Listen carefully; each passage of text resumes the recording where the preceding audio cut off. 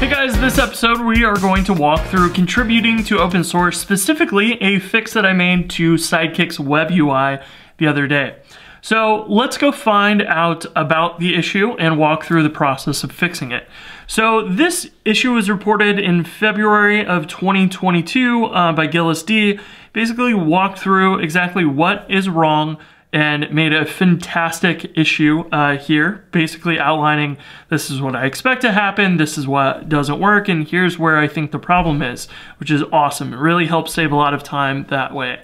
So the problem is basically when you enable live poll in the web UI, um, this is when you go to, for example, like the busy or queues, you can click live poll up here and you can also do the polling interval or you'll see the polling interval on the dashboard.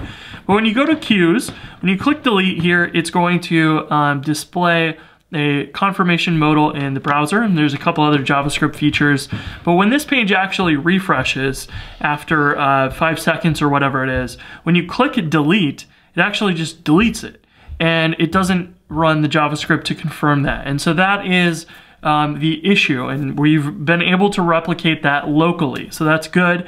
And the first place we really need to start fixing that in the code. So we want to be able to do that and then um, start this up again and make sure that that is working as expected.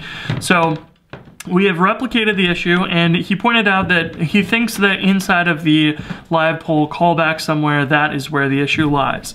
So if we look at this code real quick it says uh, let's clear out the timer let's grab the new version of the page